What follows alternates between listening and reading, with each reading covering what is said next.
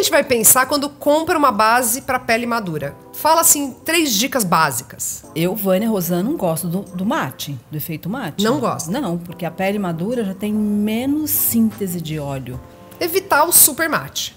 Evita. Quanto à fórmula, tem alguma coisa que deve evitar dentro de uma fórmula? Eu, por exemplo, não gosto do- de, coisa, de coisas que tem um brilho grande, partícula de brilho grande, Entendi. Tipo assim, muito perolado. muito perolada. Aquelas partículas de brilho grande, porque vai chamar atenção para aquilo que a gente quer o quê? Né? Minimizar, Minimizar. né? Dar uma atenuada. Eu não gosto de bases muito siliconadas. Silicone, não. Melhor não, evitar. Porque assim, o silicone, ao longo do dia, ele acaba migrando junto com o pigmento. Acumulando. Sim, acumulando. Silicone, não. Não. Super fosco, não. Não. Super partícula de brilho, não. Dito isso, vamos pra lista? Wish I had a tail. Yeah, if I did, then I would it in of you.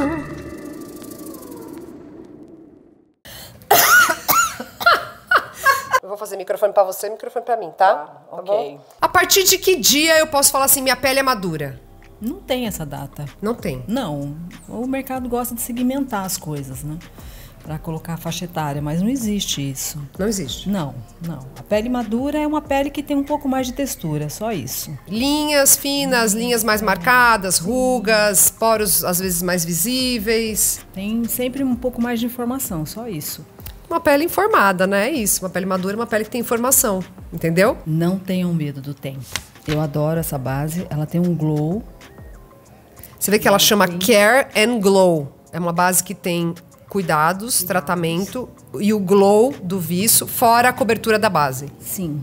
né? Todo produto para pele madura, esses multifuncionais entregam mais do que só cobertura, mas também tratamento, funciona muito bem. A dona Vânia, que não é boba nem nada, pegou uma boa Lancome Care and Glow como uma das bases favoritas dela. E a gente vai incluir nessa lista uma outra base que as duas amamos. Ela tem usado mais a versão Glow e eu gosto mais da versão Mate. L'Essentiel, da Guerlain. Guerlain. Muito bem, de Guerlain, sabe muito melhor. Eu acho essa- é, o resultado fica maravilhoso e ela também é uma base que tem tratamento. Ela tem o, o- skincare junto. Eu vou falar de uma base de mercado nacional que me surpreendeu. Não falei dessa base no canal ainda. É uma marca muito boa, porque eles têm muitos outros produtos de skincare, mas eles lançaram o primeiro item de maquiagem, chama Solvier.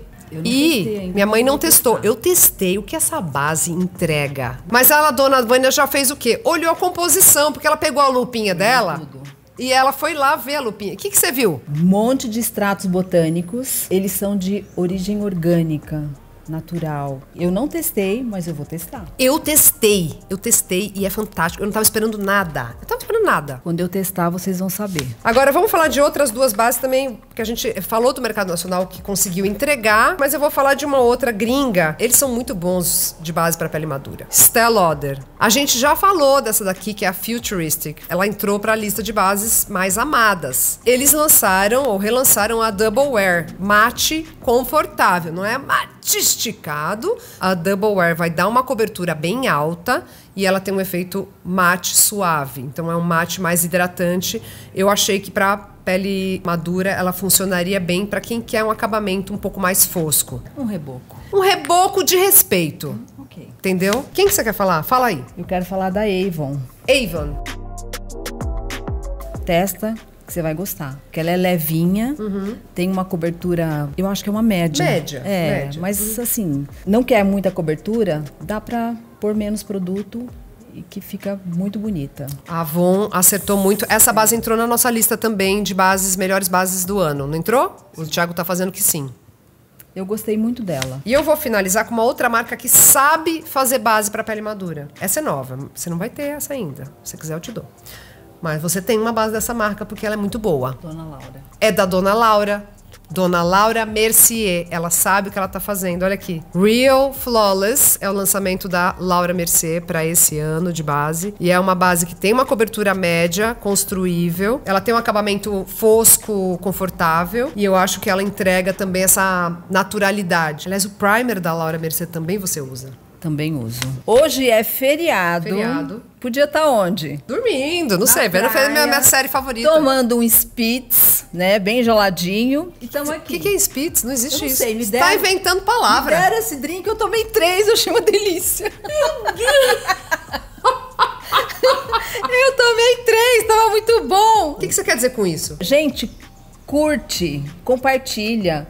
Fala, pra- faz perguntinhas pra gente. Manda pra aquela sua amiga que diz que não tem produto no, no Brasil e no mundo pra ela, pra pele madura. É isso, entendeu? A gente tá aqui criando conteúdo pra você. Não esquece de deixar sua curtida, compartilhar esse vídeo. Isso tudo é uma forma de amor e reconhecimento do nosso trabalho, não é? É. Na verdade é o mínimo, é o que a gente quer.